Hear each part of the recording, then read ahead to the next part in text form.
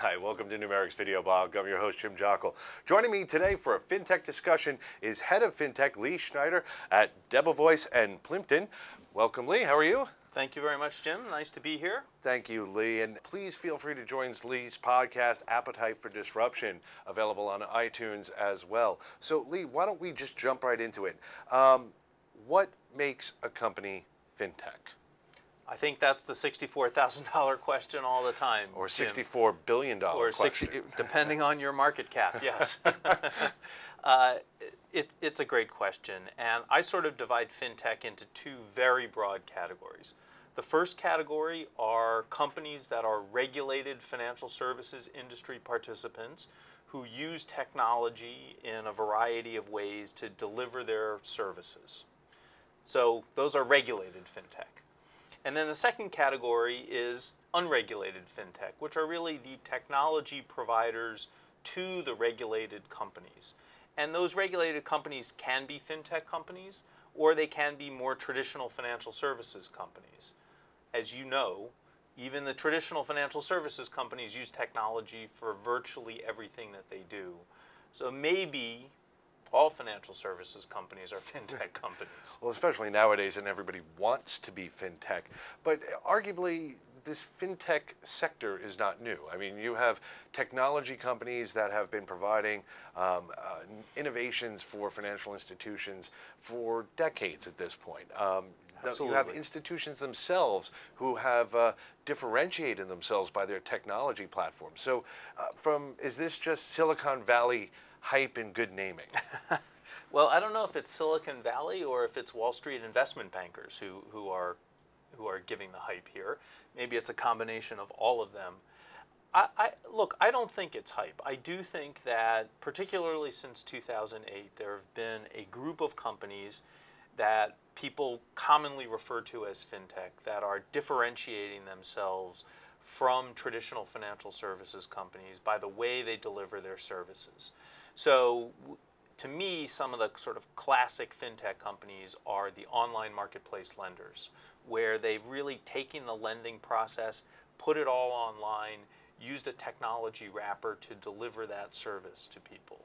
Or the robo advisors. And I know robo advisor companies hate that terminology, but since it's so common, I'll use it.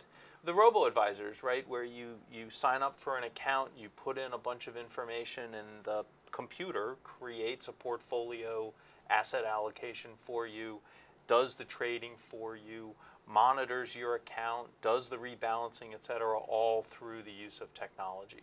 So sort of those two are what I think of as classic pure fintech. But yet, according to a recent study by McKinsey, I think they've now identified over 30 distinct areas of fintech uh, exploration at this point, ra ranging from payments and lending into traditional areas that we've been talking about, but also in infrastructure like Bitcoin uh, and some of those other sectors. So, would you argue that no one is safe from fintech at this point? I, would absolutely argue that no one is safe from fintech. Uh, eh, look, when I talk with my traditional financial services clients, I always tell them up front if you're not thinking of yourself as a technology company, you have to start thinking of yourself that way. The regulators expect you to be a technology company. Regulatory expectations around what information you can make available to regulators is, is all about the technology delivery of that information. The regulators are using technology to monitor the regulated companies. So, for example, in, in the brokerage industry, the SEC has very good information, good data, and is, is manipulating that data in a wide variety of ways to look for illegal trading patterns, insider trading, market manipulation, other types of fraud. You can go down the list.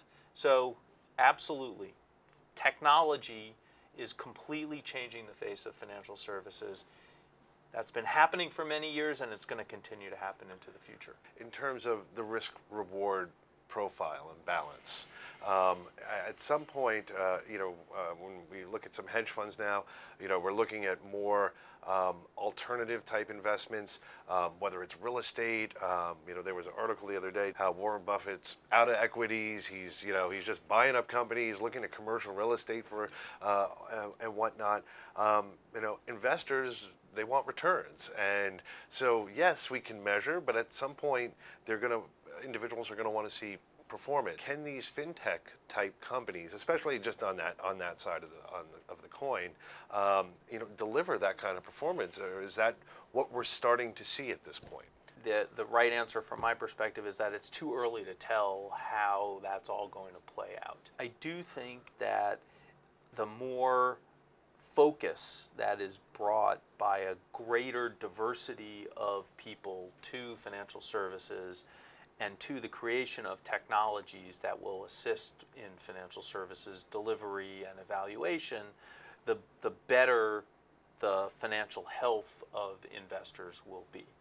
But look, at the end of the day, it requires somebody to take control of their own destiny to a certain extent mm-hmm. and make decisions about how they want to conduct their financial life. But without tools to, to make it easier for people to do that, uh, it, it, it, it's, a, it's a tough thing to do.